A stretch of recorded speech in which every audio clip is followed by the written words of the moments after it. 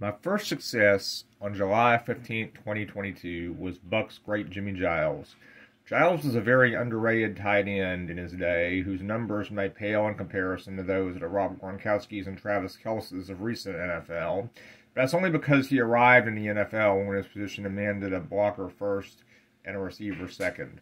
The game was evolving, and the position became more important in the 1980s and going forward because of what tight ends could do down the field as receivers rather than along the line of scrimmage as blockers.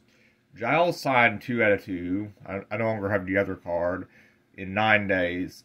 I sent two regular issue cards, an 81 and 82 Topps. I did not send a rookie card this time to Mr. Giles. But Giles has been a great signer lately if you know the right address to reach him. Feel free to like this video if you like what I'm doing here on YouTube. And I especially encourage you to join the Budget Collect Pro Football discussion group on Facebook, as well as subscribe to the, Bro, the Budget Collect Pro Football address database for $12.99 a year, which has over 1,700 pro football addresses, and I am double checking some daily.